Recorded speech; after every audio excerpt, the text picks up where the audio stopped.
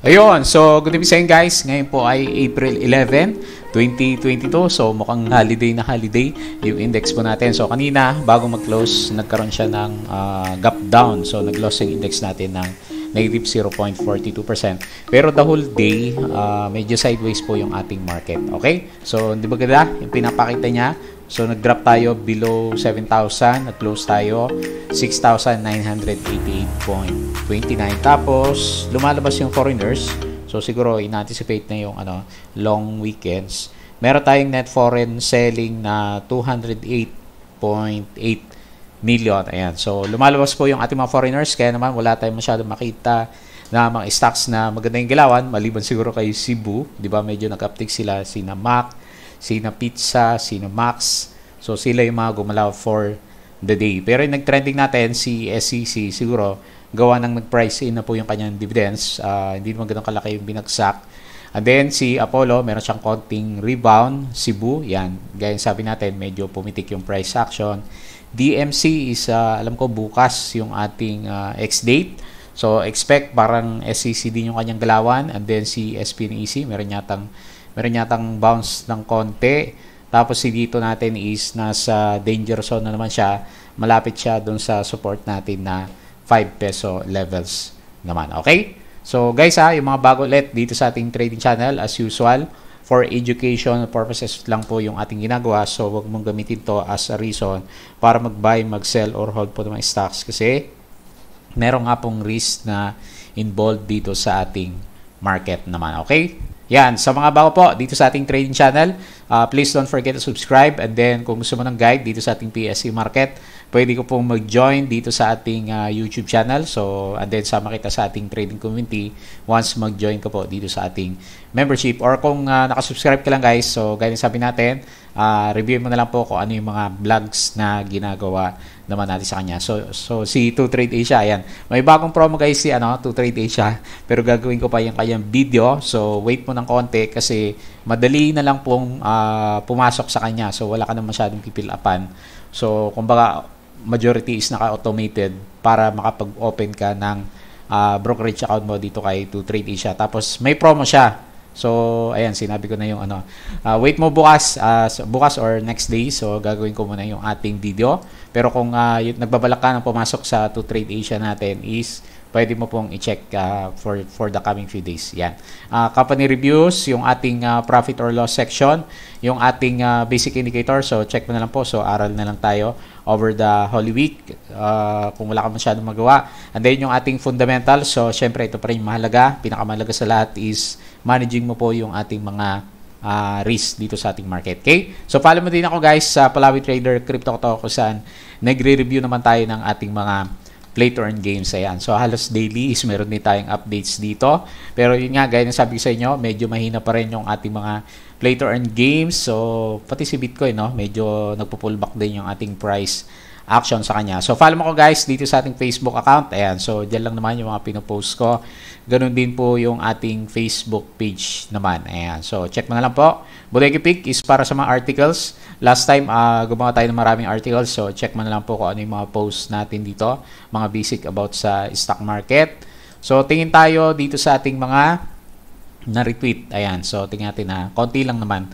So, top gainers natin si SSP, Pizza, Wilcon, Mac, APX, ba si APX gumalaw, PLC, Baita, Seb, at saka Seb CP, Bloom, Keeper, Now, at saka si JT, JT Cup natin. Ayan. So, pero pinakamalakas yata ngayon si ano, ah, Wilcon. Mamaya, silipin natin dun sa ano, mga blue chips natin kung uh, si Wilcon nga po yung ano, sa closing is pinaka uh, mataas. Okay? Le Leisure State Development and arm of uh, Andrew Tan, Jerry swung back to positive territory. Ayan. So, okay yung kanyang galaw. Uh, stories for the day, Philippine export jumps in February as global, global demand picks up, global ban issue shore up, pizza, ayan, so ito po yung catalyst pala ni ano, pizza natin. No? Uh, 2021 net income bounces back to profitability at 121 million. Ayan. So, nag-open kasi yung economy.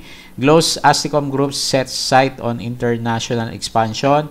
Destarit plans asset infusion ahead of share offer. Ayan. So guys, ah, ito. So bagong rates for the long term. Gaano kaya kalaki yung kanyang dividends na ibibigay. Pizza expects its net income in 2023 pa naman to surpass the pre-pandemic level as it described this year.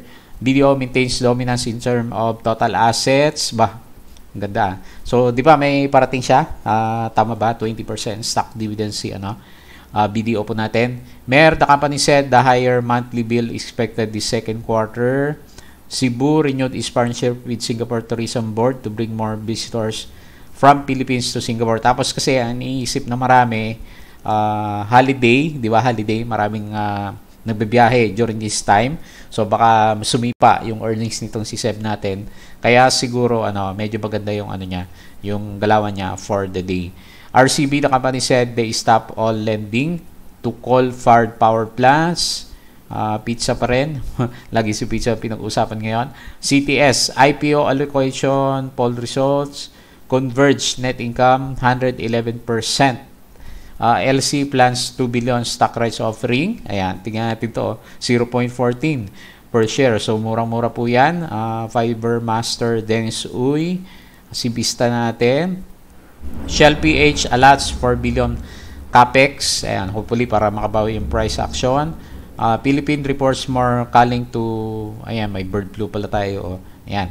Tapos, uh, yung mga BPOs and then, ito yung last last Friday na trading 'di ba sa US market. So parang ngayon nagde-drop pa rin yung ano eh, yung ating mga futures. Uh, government places more areas under alert level 1 as new cases plateau. Ayan. So, ito yung kahapon na uh, news naman natin dito sa ating market. Okay? So, wala tayong masyado nakita. Mukha nakabakasyon. Karamihan po ng ating mga stocks kasi nga nagbabagsakan po yung kanilang mga price action. Ayan. So, hindi ko na buksan yung ating Patreon pero close na muna siya. So, by May 2, 2022 na lang po ulit yung opening natin. Kung gusto nyo ng guide, uh, dito po sa ating PS market, pwede nyo i-check yung ating uh, patron naman. Okay? So, tingin tayo dito sa ating index. Ayan, o, oh, titignan ko yung top gainers natin. So, ito nga si Napes, SSP, Pizza, Wilcon, si Mac, uh, APX. Ayan. So, majority ng mga yung mga sikat na stocks natin hindi gumagalaw as of this time. Yan. So, balik tayo. Bagsak sa below 7K kasi binatak tayo papagsak. Oh. May biglang sell-off. Negative 208 net foreign selling.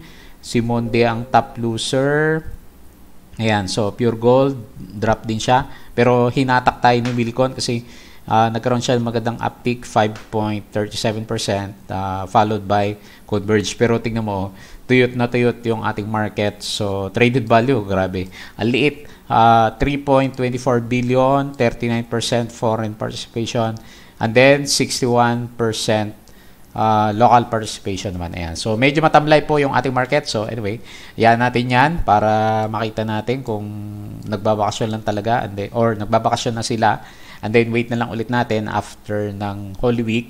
So, siguro saka sisigla ulit yung ating market. Pero kung matagal ka na sa PSC, so normal lang yan guys na magkaroon ng drop during this time and then uh, magpipick up siya ulit after ng ating mga long na holidays naman. Okay? Parang yung ano din, yung mga ghost month yung uh, dating niya. Kasi ilang araw din na ano eh, wala tayong trading day, di ba? So, na-announce na ba? Wala pa ako nakita sa mga news, pero di ba normally Thursday, Friday yung ating holiday naman. Okay? So, ngayon, uh, sobrang hina na market natin. Hopefully, mag-survive yung support natin, 6,900. So, kasi bagsak tayo ng ano eh, 7,000 level and then maganda yan kung yan yung base natin. Kasi uh, after siguro ng election siguro naman kaya na natin butasin yung 7,500 uh, level natin. So matamlay yung ating RSI so ganun din po yung ating MACD hindi rin siya masyadong gumagalaw. So pahinga muna yata tayo during this time sa trading po natin. Okay? So ano na lang ginagawa ko na lang is watch watch mode sabi nga natin uh, dito sa ating market kasi wala naman masyadong pumipitik ng mga stocks po natin. Okay? COVID cases, mababa pa rin. So, kailan kaya tayo magkaroon ng alert level 0. Pero, di ba, very unusual yung ano, nangyayari doon sa China. So, ang lakas ng lockdown nila doon. Ang dami naka-lockdown. 25 million na tao yata yung naka-lockdown. So, maganda pa rin sa Pilipinas kasi 200 na lang po yung ating uh, daily cases naman. Okay? So, global market, mukhang may drop sila. So, nagbabakasyon din yata yung ating US market. So, dito sa Europe, uh, sideways siya, no? May green, mayroon tayong mapula. Ayan, so grabe yung drop ng ano, Hang Seng Index natin, no? At saka dito sa China, oh. so siguro iniinda niya yung ano, yung COVID lockdowns natin. Pero the rest is oh, ma, ma ano din, mababa din yung ano, ibang mga stocks natin. Taiwan, tsaka dito sa tama ba to? S&P, New sa ba to? New Zealand index ba to? Negative 1.11%. Ayan. So medyo uh, mapula yung ating global market. Yan. Tingin tayo sa uh, cryptocurrencies, mahina din. Ayan. So medyo matamlay yata lahat ng ano markets natin sa ngayon. So pabagsak nga yung ano eh, yung iba dito sa ano, si Dodge, negative 2%. So sino pa ba malakas? XRP nag-drop siya. Tsaka itong si Hex. Ano ba itong mga cryptos na to? Hindi natin kilala yung ano eh, ibang nakalagay dyan. Okay? So, overall picture, medyo mahina po yung uh, buong market. So, pero sa atin, di ba, alam naman natin kung bakit siya mahina. So, vacation days kasi, di ba? So, Holy Week celebration po natin. Okay? So, pag-usapan natin yung ating mga trending stocks. So, isang mabilisang review yata itong ano, gagawin natin. So, nag-price in. So, pinag-usapan siya kasi nag-price in na po yung ano, yung ating dividendo. Ayan. So, medyo mahina din yung ano, RSI niya. Tapos, parang nasa correction yung ano, yung MACD niya. Oh. Tingnan mo, yung blue laging nasa ilalim ng ating red line. Okay? So, congrats dun sa mga meron kasi ex-date. So, ibig sabihin, meron na kayang uh, i-anticipate na dividendo with regards dito kay SCC natin which is around tama ba 6 to 8% yung ano yung dividends natin sa kanya. Okay? So technical wise, hopefully yan yung support. Pwedeng sabihin, nag-breakdown siya ng konti o pero pwedeng sabihin, sakto lang siya dito sa ascending triangle formation po natin. Yan, malalaman natin, uh, meron pa naman tayong, tama ba, 2 days na trading po dito sa ating market. So, tingnan natin yung kanyang galaw gaano kalaki yung price in nitong si SCC. So, hindi naman ganun kalaki. Negative 1.75%. So, actually, strong nga siya. Meron tayong uh, net foreign buying na 67 million. So, marami siyang tagasalo. Si Credit Suisse, call ang main buyer and then call FMS yung ating pinaka main seller naman. Okay? So, kaya lang muna. So, post mukhang post week tayo ngayon. Next si Apollo. So, pinag-usapan siya siguro kasi nga po, pag tinignan mo yung chart natin sa kanya, so nagkaroon siya ng bounce. Ayan. So hopefully, uh, tamang bounce yung current location niya. Pero ewan ko lang ha, ah, kung uh, tutuloy niya yung galaw. Kasi nga, for the past 2 days, nagkaroon siya ng malakas na profit taking. Pero ngayon, uh, kumbaga, hirap matimingan ngayon si ano si Apollo kasi alalakas ng drop nito eh pag uh, nag-drop siya, di ba? So, umakyat siya na paunti-unti and then suddenly nagkakaroon siya ng profit taking. Pero anyway, base base lang po dito sa current price action niya. So okay yung MACD niya oh, tsaka yung RSI. Uh, ah, pero yung price action is nasa sideways. So hopefully yung mga nakabili uh, magkaroon sila ng chance na uh, lumabas kung gusto nila dito sa area na to mga 0.05 kasi medyo malaki din yung drop niya last time. So nang ipit ng konti itong si Apollo naman natin. Ayan. So wala naman tayong nakita na news maliban sa nagdi-dispose yung mga may-ari po ng shares sa ating company naman. Okay, so meron siyang uh, gain 2.22%, 57k. Net foreign buying, RCBC Tower ang main buyer and then call at saka si Solar yung ating pinaka main seller naman sa kanya. Next, si Cebu. So, marami daw na biyahe. Kaya daw pumitik yung uh, price action natin. Pero nauntog siya Meron ba? May nakita ko nagda-drawing ganto. Ganto kalaki yung drawing niya eh, mula dito hanggang dito which is parang tama naman, 'di ba? So meron siyang consolidation, parang triangle formation dito. Ayan oh. So kung susundan mo siya, so kasi nauntog siya eh, okay na sana yung galaw niya eh. So bago siya magkaroon ng decision, medyo matagal pa based dito sa ginuguhit ko na trend direction, 'di ba? So kung sakali lang mauntog pa rin siya, bukas ng trading po natin. Ayan. So, hopefully, maka-breakout siya. Ganda ng ginalaw niya ngayon, di ba? So, chance to exit yung mga medyo naipit last time. Kasi, umabot siya ng gano'n ba kalaki yung ano, inakyat natin. Biglang ano eh, sumipa itong si ano si Buo. Nag 8% siya. So, 'di ba okay na 'yan sa isang araw kasi ang lakas ng pitik ng uh, price action ni Cebu kanina. Pati yung kanyang ano, 'di ba, yung kanyang uh, yung C CEBCP natin, yung uh, preferred parang preferred shares ni Cebu Pacific natin. So pumitik din yung ano, yung price action natin. So wala naman tayong ibang uh, nakitang catalyst sa kanya maliban doon sa yun nga Holy Week and then sabi nga nila medyo marami po yung ano uh, gagamit ng kanyang mga services naman. Okay? So tingnan natin gaano kalaki yung kanyang ginalaw. Meron siyang 2.63% na gain, negative 9 million net foreign selling. Papa Unicap ang main buyer and then BDO call yung ating uh, pinaka main seller naman sa kanya. Okay? So yun muna nakita natin. Muntik na siyang ano ah, magkaroon ng magandang breakout. So hopefully ituloy niya yan ha. Tingnan natin bukas.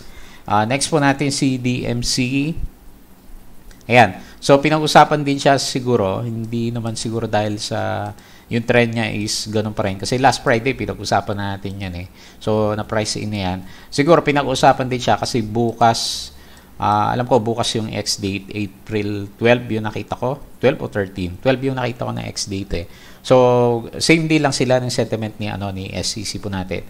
Ascending triangle and then nag-antay siya ng uh, result with regards po sa epekto ng ating uh, dividendo naman sa kanya. So, tingnan natin yung kanyang price.